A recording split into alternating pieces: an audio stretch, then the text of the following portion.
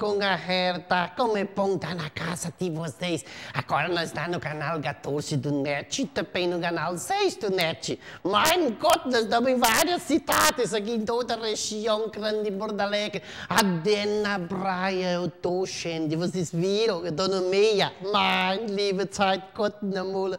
Que coisa maravilhosa. Acompanhe a gente no encontro com a Herta. Ah, também tem o Facebook, kannst du gucken. Uhum. Herta. Herta Klein, den Schundeli, tem que botar Herta com a K. Tá dos dat vida. Tem o Starkang, uhum, tem lá Herda Klein. Tem como disse o duplo oficial Herda Klein. Uhum. Encontro com a Herta. Ai, hoje tem mensagem de novo. A Taia sempre me manda ler essas mensagens. Eu vou ler aqui para vocês. E caneta hora eu leio, mas eu vou ler.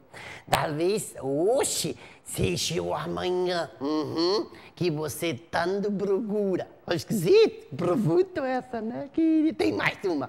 O pequeno pensamento positivo pela manhã pode mudar todo dia, quer dizer, todo seu dia. Só estás. Lembre-se disso. Encontro com a Herta. Ai, hoje estou com duas pessoas lindas, maravilhosas, simpáticas, gente.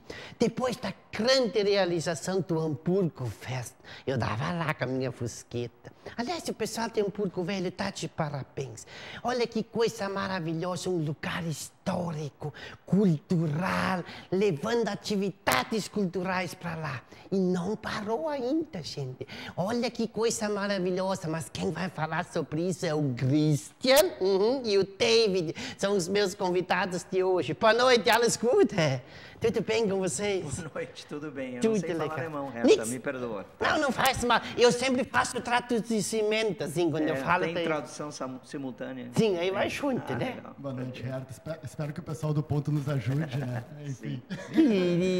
Quem é o Christian? Fala, onde trabalha? Eu sempre gosto de falar para o pessoal quem são eles. Se são de Novo Hamburgo, ou se vieram de uma outra cidade, o que que trabalha. Quem é o Christian? Fala pra gente. Bom, sou Christian Thomas e moro em Hamburgo Velho já há mais de 15 anos, né? 15 anos. E tenho também um escritório em Hamburgo Velho também já há mais de 15 anos. Escritório Então, de quê? É de desenvolvimento de produto, pesquisa e desenvolvimento de produto, calçados, bolsas, acessórios. Olha que bonito. Trabalhamos com moda, né? E com pesquisa com de moda. moda. Sim. Pesquisa de moda. Tem que vir para cá fazer um programa para falar sobre isso. Eu adoro, porque como é importante esse negócio de pesquisamento, fazer sobre o que que é a tendência da moda. Aliás, é- sempre tudo está na moda, né? Sim, e de comportamentos também, principalmente, né? As pessoas mal criadas, a gente estuda o comportamento. Tudo? Tudo. Mas quando vem pra cá, nós temos que trazer o Cristian para falar sobre isso.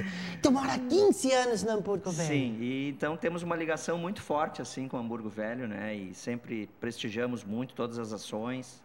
Então essa vez a gente Que resolveu coisa. fazer uma união importante aqui, né, com a AMI e com outras empresas que estão envolvidas aí para fazer um belíssimo Natal em Hamburgo Velho. Que legal. E o David, quem é o David?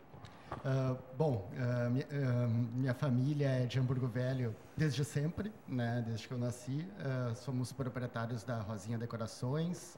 Temos uma outra floricultura também no bairro. E já são 37 anos no bairro, né? Com, com a loja ali dentro. Né, E morando, vivendo por ali, né? 37 anos. Como é que é morar em Hamburgo Velho? Porque historicamente Hamburgo Velho é sem dúvida nenhuma um dos lugares assim culturalmente pelas as casas em Chaimel, pela sua beleza, agora virou patrimônio histórico nacional, não é verdade? Sim, é o único centro histórico de origem germânica reconhecido nacionalmente pelo IFAM, que é o órgão nacional da, da cultura que faz tombamentos, os tombamentos nacionais, né?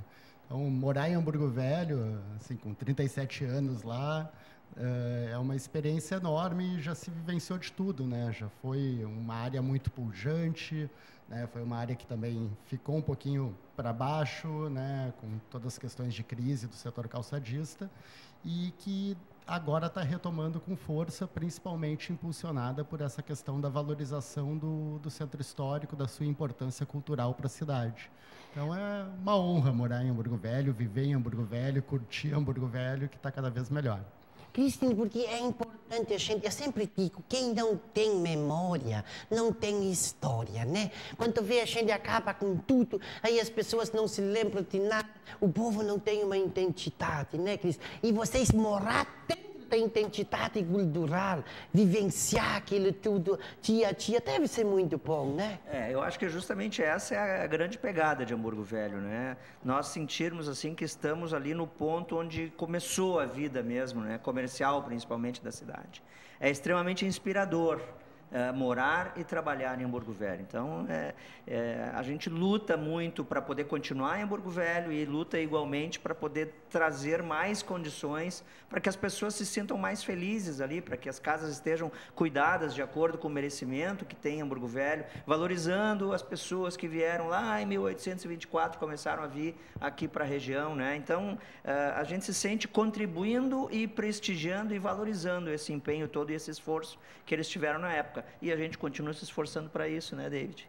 É, aliás, eu não, não falei, faço parte também da Associação de Moradores e Empreendedores, né, que organizou o Hamburger Berg Fest. Teve a honra de ser convidado para o evento de Natal pelo Christian, né, que já realizou um evento no bairro há dois anos atrás e, junto com outros parceiros, idealizou realizar novamente. Né, e nós, como associação de moradores, né, que tenha esse objetivo de incentivar o desenvolvimento do bairro, nos sentimos honrados em participar de mais uma festa, então, no bairro. Olha que legal. Tu sabe que é um porco velho? Eu vou falar isso para a Taia. Taia é a, minha, a menina que faz o produzimento, como diz essas coisas. Eu não entendo muito bem. Nós vamos fazer uma série de programas lá em Hamburgo Velho, porque eu acho que merece um mês de programamento. A gente conhecer bem a história, conhecer as casas em Jaimel, conhecer o Museu Schaeffer, conhecer todo aquele espaço maravilhoso que tem lá. Tem o pessoal que tem o armazém lá. Eu fui visitar em Hamburgo festa, tem o armazém lá também, é tudo tão bonito. Mas fala um pouquinho, como é que foi essa coisa do ano? Tem Hamburgo Fest, quantas edições aconteceram? Por que que está acontecendo lá? Fala para nós um pouquinho o que aconteceu. Antes de nós falar, gente, Olha só que bonito. Ilumina Hamburgo Velho. Vai começar o Natal. Mas nós vamos falar sobre isso tudo ainda, né? Bom, sobre a Hamburger Berg Fest, sobre a Associação de Moradores e Empreendedores, é, a associação estava inativa já há um bom tempo e um grupo de moradores e empreendedores da região uh, resolveu trazer à tona, trazer de volta a Associação de Moradores ano passado. Uh, uma série de ações realizadas uh, de âmbito principalmente administrativo, institucional da associação ocorreram durante o ano. Só que era importante também ter um evento que marcasse o retorno da, da associação. A associação ela sempre foi realizada pela Associação de Amigos de Hamburgo Velho e a Fundação Sheffield. E que nos cederam, a Margot, o Ângelo, enfim, nos cederam a possibilidade de realizar a Hamburger Berg Fest esse ano novamente, depois de cinco anos sem a festa. Então, era uma coisa assim super importante para trazer à tona novamente a importância do bairro, né, uma festividade desse porte, 19 uh, edição, né, uma festa que começou na década de 90, então já tem 19 edições, dura dois dias, uh, ultrapassou 10 mil pessoas no final de semana, contou com mais de 70 expositores entre artesanato, artes plásticas, antiguidades, gastronomia, bebidas. Né? Foi um sucesso a festa, superou a nossa expectativa e ficamos muito felizes em realizar ela, muito felizes com o retorno do público, com as atrações artísticas que participaram. Tua participação foi ótima, Herta. Obrigado. Né? E bandas, danças, enfim, todo mundo, cinema de rua levamos para o ah, bairro. Eu achei fantástica essa ideia. É. Essa ideia foi maravilhosa. Aliás, isso é um ponto-alvo, acho que, do evento porque ele é todo direcionado para a família. Não é verdade? Botar um cinema, gente, eles botaram uma dela crunch lá e fizeram um cinema ao vivo, assim, na rua, assim. Olha que coisa maravilhosa. E um filme que era também um documentário sobre Hamburgo Velho, tinham junto, né? Sim, eram filmes filmados, uh, foi, foram filmados em 1927 no bairro. 1927. É, então contava um pouquinho da cultura, da história da época, né, das escolas, das danças, das atividades físicas. Né? Eram filmes curtos, né, foi, foi mais de um é, do acervo da Fundação Sheffield, né. E o público adorou, né? Foi um fechamento assim com chave de ouro da festa, lotou o cinema, o pessoal aplaudiu todos os filmes, foi maravilhoso mesmo. Que coisa boa. Porque essas coisas são importantes quando a gente consegue atingir a família, não é verdade, Cristian?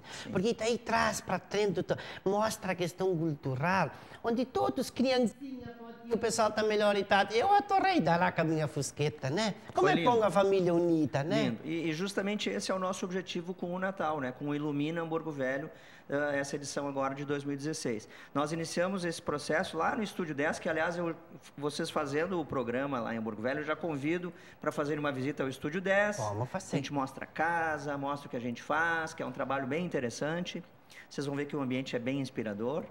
E, então nós realizamos há dois anos o um primeiro Natal lá, que nós fizemos um espetáculo na rua, na frente do escritório mesmo, com o coral da Fevale, Uh, com orquestra de sopros e infelizmente, mas felizmente ao mesmo tempo, choveu muito na hora do espetáculo e nós acabamos mudando na hora, todo mundo ajudando, carregando os instrumentos e as cadeiras para a Fundação Sheffield. Então fizemos o nosso Natal de 2014 lá dentro. E esse ano uh, nós tínhamos a mesma intenção de fazermos um Natal ali na frente do estúdio, mas aí a coisa foi tomando corpo, tomando corpo, e hoje nós estamos com uma, uma organização maravilhosa, junto com a AME, junto com a Rádio União, junto com a Estrela Tour, junto com o Estúdio 10, fazendo uma organização, vamos fechar a rua toda, teremos muitas atrações. É realmente um programa imperdível para a família, Herta. Para a família. família. Olha só, agora nós vamos para os nossos apoiadores culturais e depois do segundo bloco nós vamos falar só do Ilumina Hamburgo Velho. O que, que vai acontecer? Quem são os parceiros? Qual é o programamento? A gente já volta com essa simpatia desses dois moços maravilhosos. Já estamos voltando, tá bom?